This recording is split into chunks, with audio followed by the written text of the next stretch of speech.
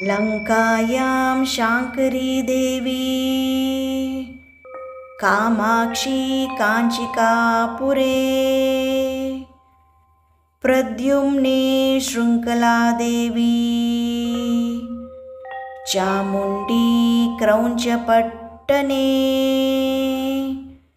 अलम्पुरे जोगुलाम्बा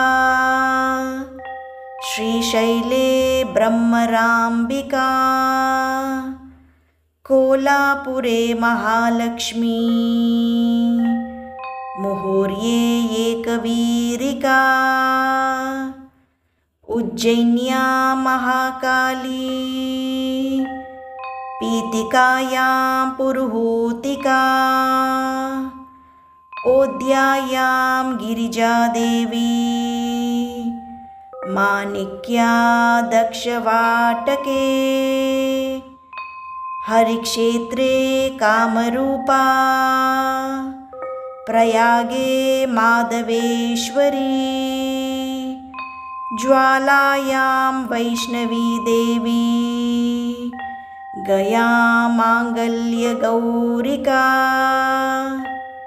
वारणस्यां विशालाक्षी काश्मीरेषु सरस्वती।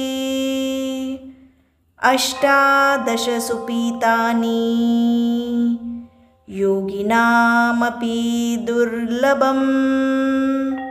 सायङ्काले पटे नित्यं सर्वशत्रुविनाशनम्।